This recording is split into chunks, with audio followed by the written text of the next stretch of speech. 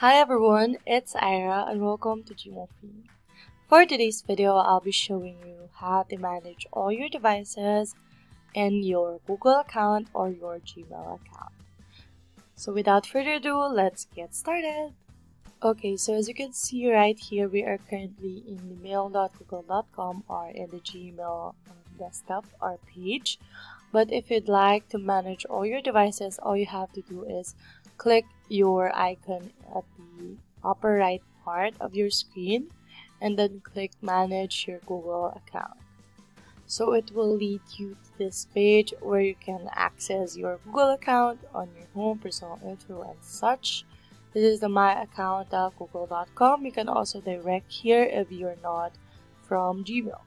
So all you have to do is click security and then as you can see you have uh, you can see here the recent security activity if you'd like to um, the two-step verification. But we're here for the manage all devices which um, you can see here at your devices. So if you click manage all devices you can see all the devices that you are currently logged into. Like for example here mine I am going to log into um, a window computer which is my desktop as of the moment and two sessions on Android phones and one session on Android tablet. If you click this one, you can see um, your first sign in, the country that it is currently signed into, the recent activity, and the browser's apps and services used in that um, device. Also, you can see if it is currently signed out or if it is um, your current session. So you can refrain from um, signing out your current session.